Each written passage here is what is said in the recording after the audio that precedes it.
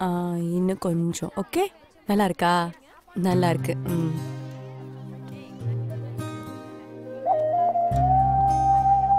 இன்னும் கொஞ்சம்? கொஞ்சம் கொஞ்சம் ஹரி. ம். வாங்க. பசங்களுக்கு சாப்பாடு போட ஆரம்பிச்சிட்டாங்க. அதான் பசி தாங்க மாட்டேன்னு ஹரியை கூப்பிட்டு வந்துட்டேன். நீங்கள் சாப்பிட்டீங்களா? பரவாயில்ல. இந்தாங்க சாப்பிடுங்க. நீங்களும் வாங்க. சேர்ந்தே சாப்பிடலாம். சரி. தண்ணி மா குடிக்கிறீங்களா சொல்லுங்கம்மா. நல்லா இருக்கியாப்பா? ஹரி நல்லா இருக்கானாப்பா? நல்லா இருக்காம்மா. ரமேஷ் உங்கடியாப்பா இருக்கான். இல்லைம்மா நான் ஸ்கூலில் இருக்கேன். ரெண்டு நாள் ஆச்சுப்பா ஊருக்கு போய் போன உடனே போன் போடுறேன்னு சொன்னா. போன் போடவே காணோம். ஏதாவது வேலையாக இருப்பாம்மா? இல்லப்பா வழக்கமா ஒரு நாளைக்கு ரெண்டு வாட்டி போன் போட்டுருவேன். அதான். என்கிட்ட பேசாட்டிலும் பரவாயில்ல அந்த கட்டிக்க போற பிள்ளைனாலும் பேச சொல்லுப்பா. சரிம்மா பேச சொல்கிறேன்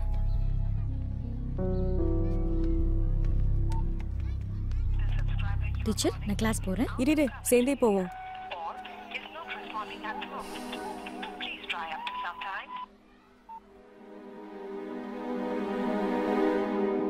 ஆ சொல்லு மாப்ள மாமா ரமேஷ் எங்கே இருக்கா ஊர்ல தான் இருக்கான். இன்னும் வரலையே? இல்லை மாமா.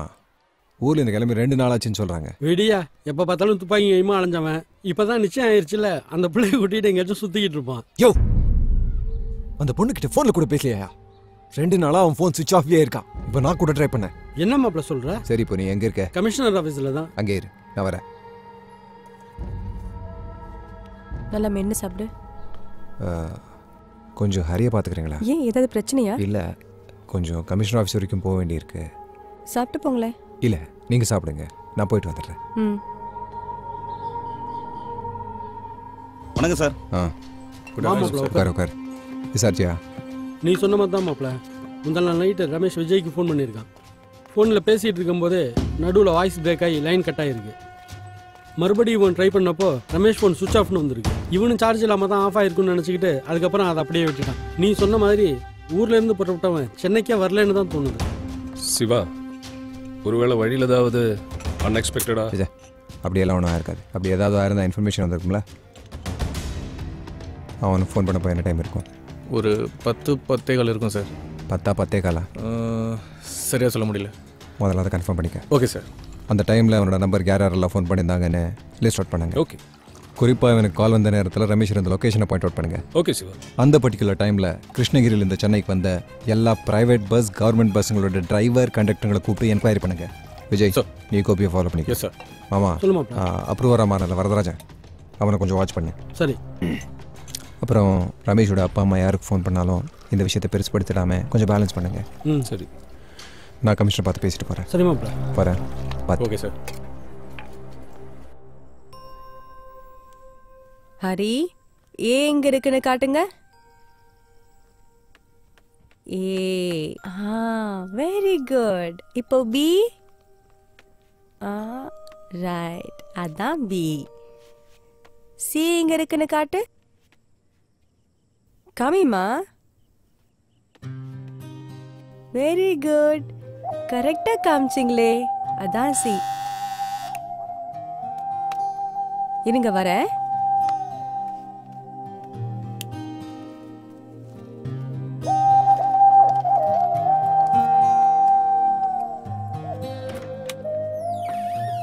என்னடி சாப்பிட்டியா? சாப்பிட்டேன். கல்யாண வீட்ல எல்லாரும் உன்னை பத்தி தான் விசாரிச்சாங்க. பதில் சொல்ல முடியல. அதான் கிளம்பி வந்துட்டேன்.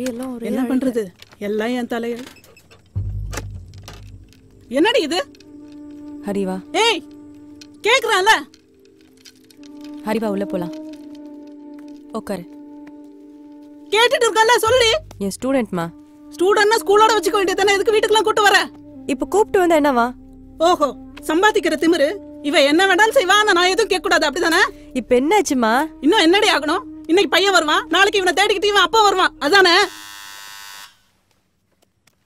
போ. கொஞ்சம் உங்களை பேசாம இருக்க சொல்லு.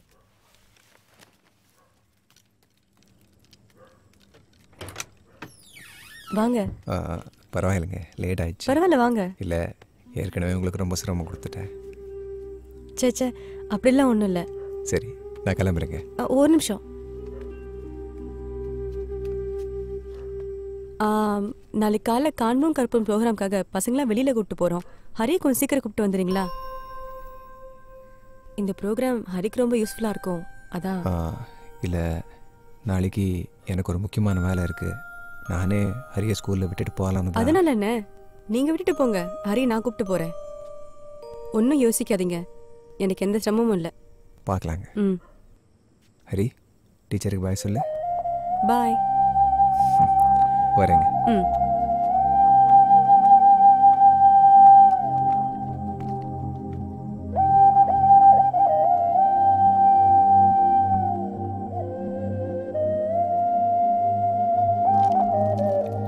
நான் சொன்னது சரியா போச்சா? ஆம்பளை இல்லாத வீட்டுக்கு இந்நேரத்துக்கு ஒருத்தன் வந்துட்டு போறது நல்லாவா இருக்கு? இந்த பாருடி இந்த உலகத்துல நாம மட்டும் இல்ல நம்மள சுத்தி நாலு பேர் இருக்காங்க. ஏற்கனவே முன்ன ஒண்ணு பின்ன ஒண்ணு பேசிட்டு இருக்காங்க. இப்போ இது வேற. ஏய் ஊர்ல பேசுறது இருக்கட்டும். முதல்ல இவங்க பேசுறது எடுத்து சொல்லு.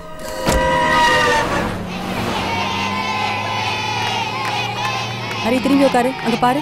அங்க பாரு ஹரி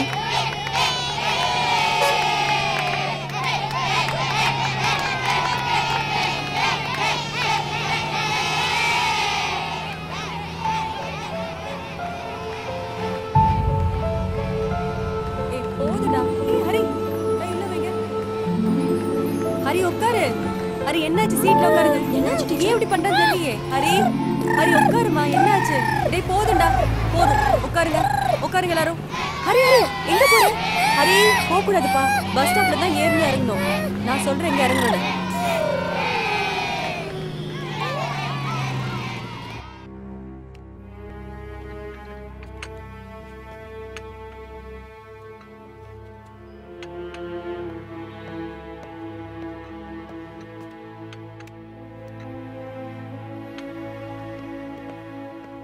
பாலா சார். நான் கூப்பிட வரைக்கும் யாரையும் உள்ள allow பண்ணாதீங்க. Okay sir. ம். பதினாலாம் தேதி கிருஷ்ணகிரியிலேருந்து கிளம்புன ரமேஷ் சென்னை வர்றதுக்கு ரன் டிராவல்ஸில் தான் டிக்கெட் புக் பண்ணியிருக்காரு. அன்னைக்கு நைட்டு பத்து இருபதுக்கு விஜய் கூட ஃபோனில் பேசியிருக்காரு. அந்த டைமில் அவர் வந்த பஸ் வாலாஜா பக்கத்தில் இருக்கிற ஹைவே மோட்டலில் தான் நின்றுருக்கு. பஸ் மறுபடியும் புறப்படுறப்போ ஒரு சீட்டில் ஆள் இல்லாததால் டிரைவரும் கண்டக்டரும் இறங்கி தேடி இருக்காங்க அதுக்கப்புறம் டிக்கெட் கவுண்டர் ஃபைலில் இருந்த ரமேஷோட ஃபோன் நம்பருக்கு ட்ரை பண்ணியிருக்காங்க. ஃபோன் ஆஃப் ஆயிருந்ததால அவங்களுக்கு என்ன பண்ணுறதுன்னே தெரியல. நேரம் ஆக ஆக பேசஞ்சர்ஸ் எல்லாம் டிரைவர் கண்டக்டரோட சண்டை போட ஆரம்பிச்சதும் அவங்க வேற வழியே இல்லாமல் பஸ் எடுத்துட்டு சென்னைக்கு வந்துட்டாங்க. ரமேஷோட லக்கேஜை கோயம்பேட்டில் உள்ள ஆஃபீஸில் கொடுத்து யாராவது வந்து கேட்டால் கொடுத்துருங்கன்னு சொல்லியிருக்காங்க. ம் டிக்கெட்டில் இருக்கிற பேரும் லக்கேஜும் வச்சுக்கிட்டு ரமேஷ் அந்த வண்டியில தான் வந்திருப்பாருன்னு சொல்ல முடியாது. அவருடைய பேரில் யார் வேணாலும் வந்திருக்கலாம் இல்லை? கரெக்ட் சார் ஆரம்பத்தில் இந்த டவுட் எங்களுக்கும் இருந்தது. அவர் செல்ஃபோனை ட்ராக் பண்ணதில் ஹைவே மோட்டலுக்கு பக்கத்தில் இருக்கிற செல்ஃபோன் டவர் மூலமாக தான் அவர் கடைசியாக விஜயை காண்டாக்ட் பண்ணியிருக்காருன்னு தெரிய வந்தது. இந்த இன்ஃபர்மேஷன் கிடைச்ச உடனே நாங்கள் அந்த ஹைவே மோட்டலுக்கு போய் விசாரித்தோம் ஆனால் அங்கே யாருக்கும் எந்த விவரமும் தெரியல. ஓகே. அந்த நேரத்தில் என்னென்ன பஸ் எல்லாம் சென்னைக்கு வந்ததுன்னு விசாரிச்சிங்களா? அந்த நேரத்தில் சென்னைக்கு வந்த பஸ் அது ஒன்று தான் மற்றதெல்லாம் அதர் ரூட்ஸ் ஸோ ரமேஷ் அந்த மோட்டல்கிட்ட தான் மிஸ் ஆயிருக்கணும்.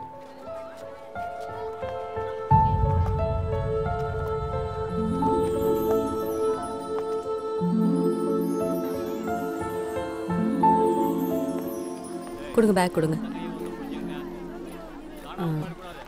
ஹரி எங்கேயும் போகாத இவங்களோட தான் பார்த்துருக்கணும். சரியா? அங்க பாரு அங்க. டேய் அதெல்லாம் தொடாதீங்கடா. தட் மீன்ஸ் ரமேஷை தூக்கிட்டாங்க சார். எப்படி சொல்றீங்க சிவா? பஸ் புறப்பட்டதுலேருந்து ரமேஷ் யாராவது ஃபாலோ பண்ணியிருக்கலாம். அந்த பஸ் மோட்டல் கிட்ட நின்னதும் அவங்க பிளானை ஒர்க் அவுட் பண்ணியிருக்காங்க. நாங்களும் அப்படி நினச்சி தான் பஸ்ஸுக்கு பின்னாடி வந்த வண்டிங்களை பற்றி தெரிஞ்சுக்கிறதுக்கு டோல் என்ட்ரியை செக் பண்ணோம். ம். அதுலேயும் சந்தேகப்படுற மாதிரி எதுவுமே இல்லை. டோல்கேட்லேருந்து மோட்டலுக்கு எவ்வளோ தூரம் இருக்கும்? த்ரீ கிலோமீட்டர்ஸ் அந்த மோட்டல்லேருந்து அடுத்த டோல்கேட்டுக்கு ஃபார்ட்டி எயிட் கிலோமீட்டர்ஸ் இருக்கும் சார் அந்த டோல்கேட் என்ட்ரி செக் பண்ணீங்களா? அதையும் செக் பண்ணிட்டோம் சார் ஃபர்ஸ்ட் டோல் என்ட்ரியோட கம்பேர் பண்ணும்போது செகண்ட் டோல் என்ட்ரியில் சில வண்டிங்க மிஸ் ஆகுது. ஏன்? ரெண்டு டோல்கேட்டுக்கு இடையில நிறைய கிராமங்கள் இருக்கு. ஸோ சில வண்டிங்க அங்கே கூட போயிருக்கலாம் சார் நீங்கள் ஒன் சைடு என்ட்ரி தானே செக் பண்ணீங்க? ஆமாம் சார் உடனே ஆப்போசிட் சைடு என்ட்ரி செக் பண்ணுங்க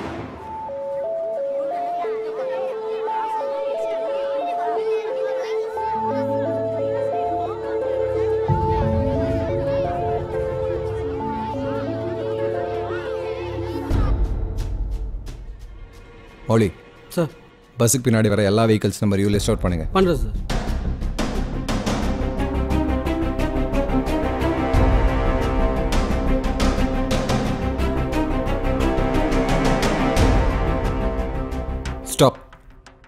ரமேஷ் கடைசியாக ஃபோன் பண்ணப்ப டைம் பத்து இருபது. அந்த டைம்லேருந்து ஆப்போசிட் என்ட்ரி ரிப்ளை பண்ணு.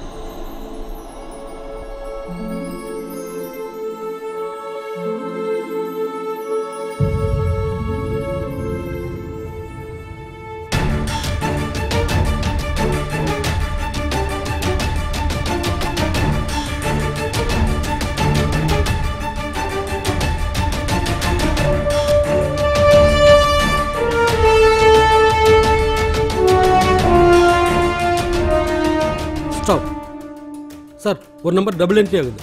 Car number K thirty eight AQ nine nine three three Ramesh அந்த பஸ்ஸுக்கு பின்னாடி பத்து பன்னெண்டுக்கு என்ட்ரி ஆன அதே கார் பத்து இருபத்தாறுக்கு ஆப்போசிட் சைடில் என்ட்ரி ஆயிடுச்சு. இந்த வழியில் தான் ரமேஷை கடத்திருக்காங்க சார் ஹரி? டி ஹரி பாத்தீங்களா? Hari Hari Hari. You are absolutely right Siva வரதராஜனோட என்கொயரிக்கு அப்புறம் ரமேஷ் என்கிட்ட பேசும்போது ஆதி அதர் ஸ்டேட்ல இருக்கிறதா சொன்னாரு. இந்த காரோட ரெஜிஸ்ட்ரேஷன் நம்பர் பார்க்கும்போது ரமேஷை ஆதி தான் கடத்திருக்கணும் ஹரி? டேய் ஹரிய பாத்தியா இல்ல டீச்சர் பார்க்கலையே. டீச்சர் ஹரி எங்கேயாவது பாத்தீங்களா ஹரி? ஹரி? ம் சார்.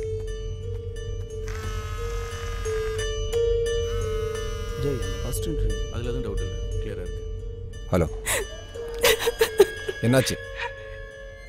ஏன் எழுதுறீங்க கேட்குறேன்ல சொல்லுங்க. ஹரி ஹரிய காணுங்க. என்ன சொல்றீங்க? என் கூடவே தான் இருந்தான். எப்படி காணாம தெரியலங்க. எல்லா இடத்துலயும் தேடி பார்த்துட்டேன். எனக்கு என்ன பண்றதுன்னே தெரியல.